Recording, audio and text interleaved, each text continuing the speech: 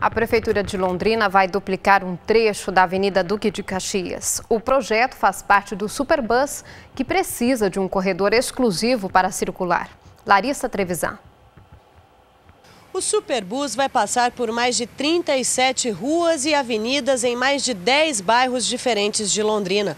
Mas para isso, a Prefeitura vai precisar desapropriar 74 imóveis na Avenida Duque de Caxias, entre a Brasília e a Leste-Oeste. É isso mesmo, Geirinhas?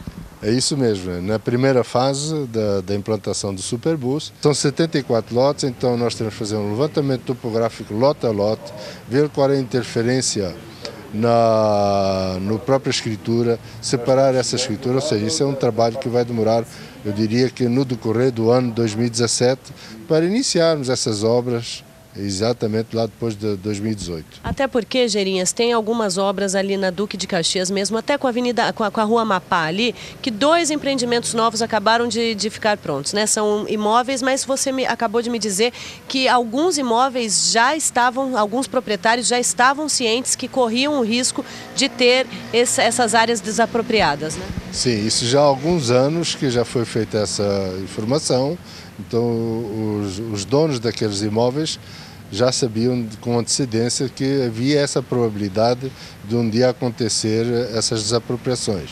Assim como nós só estamos falando da Duque entre a Leste e Oeste e a 369. A mesma coisa da, da, da, na, na, sequência, que isso vai ficar para uma segunda fase na implantação do Superbus. Muito obrigada pela participação. Larissa Trevisan.